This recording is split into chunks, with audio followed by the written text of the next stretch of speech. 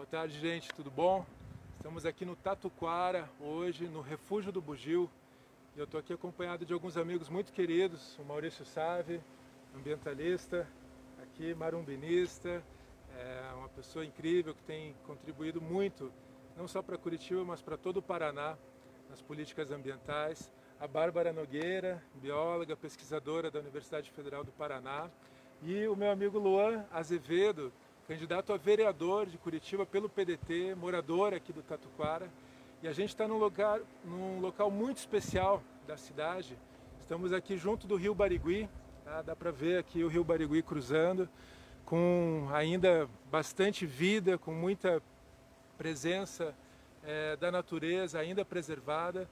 O Refúgio do Bugio ele foi criado, sabe, em 2000 e é na, na gestão do Gustavo Fruito durante 2015 para 2016. Isso. Conta um pouquinho para a gente. Eu lembro que eu te visitei na ocasião lá na Secretaria Municipal do Meio Ambiente.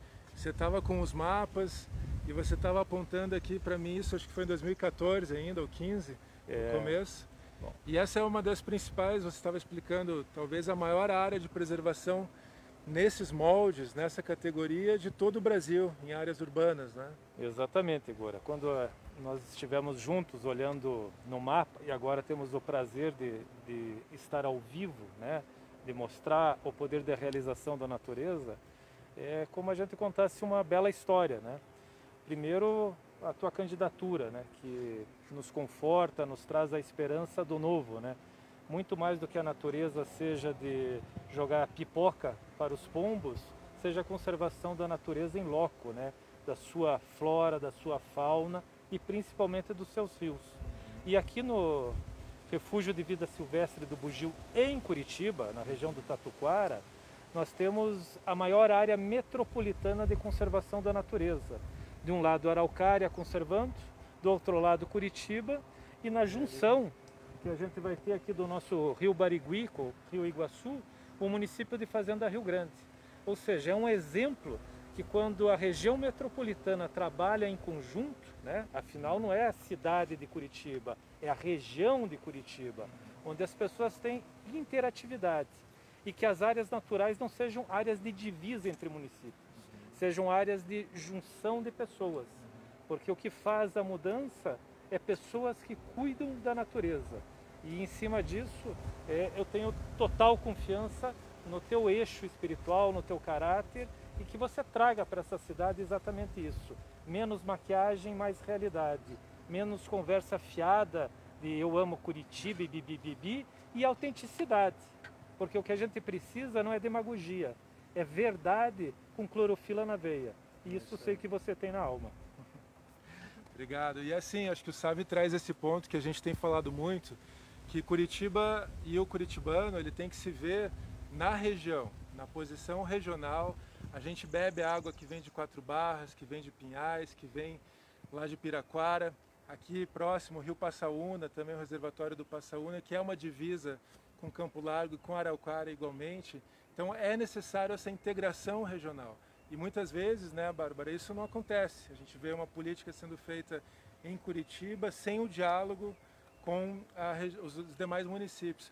Bárbara, a gente tem potenciais é, semelhantes a esse aqui do Refúgio do Bugio, de criação de novas políticas de conservação ambiental, de preservação da biodiversidade? Como é que vocês veem isso? Sim, a região sul ela é muito privilegiada nesse sentido, mas ainda muito, uma parte muito significativa dos curitibanos desconhecem a região. Então as unidades de conservação, além de terem a função de preservar a biodiversidade, regular os mananciais, né, gerar uhum. qualidade da água, também ela proporciona aquele sentimento de afeto, vai trazer a identidade do curitibano, uhum. para que ele reconheça e faça parte da, dessa área uhum. mesmo. E aqui é o rio que está lá no Parque Barigui, Exato. a galera vai lá curtir, correr. Um dos parques municipais mais visitados da cidade. Olha aqui onde, onde inicia, né? Da, da, da qualidade da água, assim, do Barigui, do Iguaçu, do Belém, do Atuba, dos nossos rios aqui do Alto Iguaçu? Estão ruins, né? Estão péssimas. Então, o que nós temos que fazer? Restaurar a vegetação, dialogar com a sociedade, fazer com que ela compreenda também a necessidade. E é assim, da forma como está fazendo, uhum. conversando e interagindo com outros setores de Curitiba. Uhum. Né? Perfeito. Luan, você que mora aqui pertinho do Refúgio do Bugio, mora perto do Rio, do Rio Barigui aqui, como é que você vê a realidade do Tatuquara nas políticas públicas, ambientais, de educação, sociais como um todo? Olha, primeiro agradecer ao prefeito Goura que veio nos visitar. É muito importante que a gente tenha é, o prefeito aqui conversando com a população e principalmente conhecendo a nossa realidade. Nós que somos da região, eu moro aqui duas quadras do, da reserva, é, tenho essa consciência da necessidade da preservação, tanto que uma das nossas propostas, prefeito, é a proteção do Rio Belém. É, a, nós sofremos essa semana, esses tempos agora, né, de estiagem. Você fez a, a audiência pública sobre a crise hídrica que foi um tema, é um tema fundamental para a nossa região. Estava conversando com a Bárbara aqui, que a região sul sofre muito com essa questão da estiagem. Então é necessário, por exemplo, a gente falar com o governo do estado para retomar as obras do Miringuava, para conseguir ter uma barragem. Uhum. E todas essas políticas ambientais estão sendo esquecidas. A gente acabou de chegar aqui e ver um parque lindo, uma região de preservação linda. Uhum e mesmo assim a atual administração do, do animador de festa continua esquecendo da região sul de Curitiba. Uhum. Então eu quero pedir esse compromisso a você, sei que você já assumiu esse compromisso comigo de olhar para a população mais pobre, olhar para a região sul de Curitiba, olhar para a periferia e falar, ó, a gente tem condição de mudar a vida de vocês com políticas reais uhum. e não com propaganda que a atual administração mantém. Então, muito obrigado mesmo, do fundo do meu coração. Toda a comunidade agradece você ter vindo visitar a gente e espero que a gente tenha essa capacidade de conhecer a região e conhecer as demandas. A Bárbara falou muito bem, a gente tem que viver em comunidade para que saiam as melhores propostas para Curitiba. Uhum. Valeu, Luan. É, então é isso, gente. Isso aqui é uma mostra de que dentro de Curitiba existem muitas Curitibas e que Curitiba é, está integrada com toda uma região e ela tem que ter esse papel de coordenar, de liderar um processo de recuperação ambiental, um processo que busque políticas públicas para a redução das desigualdades sociais.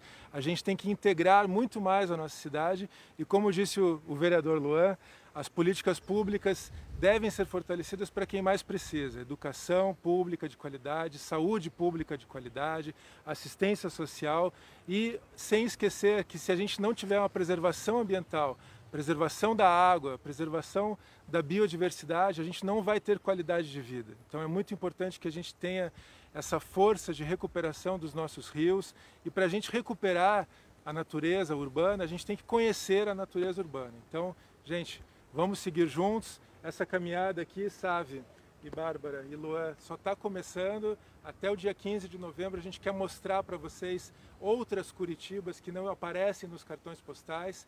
Então siga acompanhando. Agora é Goura, agora é 12, vote Goura, vote Ana Moro, vote o Luan Azevedo para a Câmara Municipal. Qual que é o teu número, Luan? É 12112 pelo Tatuquara e pela periferia curitibana.